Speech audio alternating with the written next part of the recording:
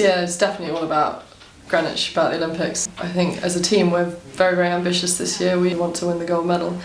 Um, and individually, I definitely want to medal again. I think anything can happen, but I know that on an ideal day for Al for me, that we are, are very, very capable of, of going all the way. So um, that is the the aim, uh, sort of in the in the back of, of the mind, but um, at the same time, sort of on a daily basis, my mind's certainly more focused on, on training and, and making sure that Alf and I are in, in the best place, place possible when we get to Greenwich and um, that we keep pushing ourselves and keep trying to make every little bit that we can a little bit better. I've just done one competition in March. I've got uh, two more definite internationals with Alf, one in um, April, one in June. Um, and then obviously end of July it's already off to Greenwich anyway. So um, it's really about the six weeks, six week gaps in between the big competitions, using the competition to see where we're at, train little extra things, um, you know, try and get some really good results, um, show consistency, um, and then in between the competitions let Alf have a bit of a downtime again, and then bring him up and peak at the right time again. But um, it's just about keeping Alf fit and supple motivated and, and, and sound. As he's 17, he's in, in, in great on great form. Um, um, and I'm going to draw a lot of confidence from the fact that Alf and I have been in the ring so many times together. Um, we've been to like quite a lot of championships together now, and we've proved to ourselves, and I've proved to myself that I can do it under pressure and, and do it um, when it counts. And I think those are all things that um, that give me confidence. And really, I'm just I'm excited about the opportunities that we've got as a team this year, and, and obviously individually as well. Um, I think Greenwich is going to be an awesome venue. It's so compact, it's going to be really good for spectators. I think it's going to be an amazing opportunity for equestrian sports as a whole. Um, you know, getting being part of the, the centre of the Olympics rather than stuck out in a different city somewhere um, is, is huge for us as a, as a sport in, as a whole.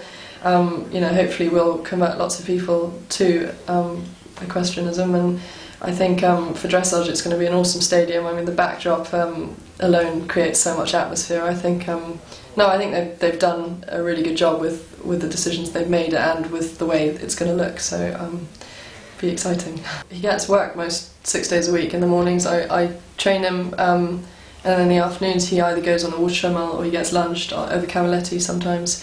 Um, in the winter, he does more of that, and in the summer, he does mainly hacking. I take him trot and cantering around the sand track. Sometimes I just walk him. So I mix it up, and I do do um, once the weather's better and the ground's good. I do do a bit more work out in the fields and on the on the sand track rather than always working him in the school. Um, he gets massaged um, regularly. Um, he gets. Uh, his back treated on a fairly regular basis just to make sure there's nothing out, especially after journeys and things like that. Um, you know, so many details to keeping a, a top horse really in, in prime condition from working with Albion. They come regularly to check the saddle and make sure that it's fitting. Um, and generally, we've got a pretty good team sort of with the world class guys who sort of um, from farrier to physio to all of that sort of thing to, to help keep Alf and myself on um, on, on good form. Um, so yeah, touch wood, it's it's all it's all part of a routine that's already in place, so it doesn't feel like anything massive has to change this year. Really, it's just about um, doing our thing and and and, and um, hopefully seizing the moment um, when we get to Greenwich.